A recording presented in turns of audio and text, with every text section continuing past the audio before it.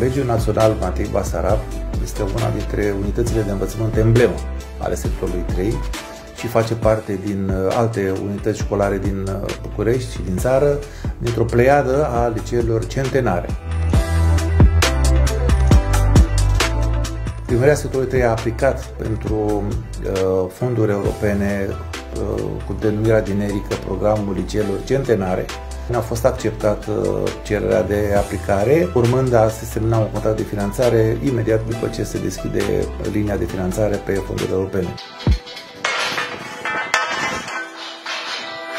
Noi n-am așteptat uh, acest moment și consecvenții uh, măsurilor luate de primărie în ultimii ani pentru celelalte școli, am intrat pe aceste lucrări. De ce? În mod deosebit pentru că sunt lucrări deosebite, în sensul că se vor face lucrări de consolidare ale clădirii. Clădirea este formată din mai multe corpuri. Noi acum am atacat corpul A principal, construit în anul 1893. Deci, practic, are 130 de ani.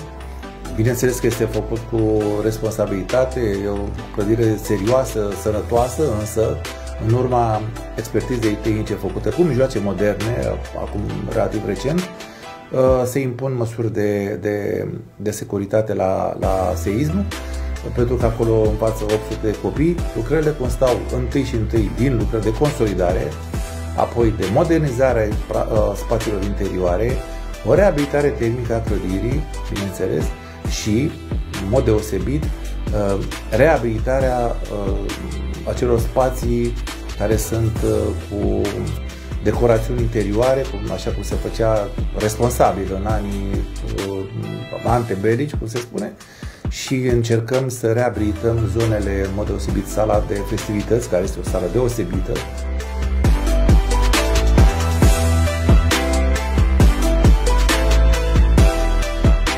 Lucrările merg bine până la această dată.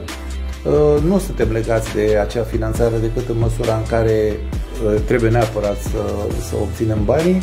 Am alocat de la bugetul local o sumă necesară să continuăm lucrările până la, până la obținerea finanțării europene.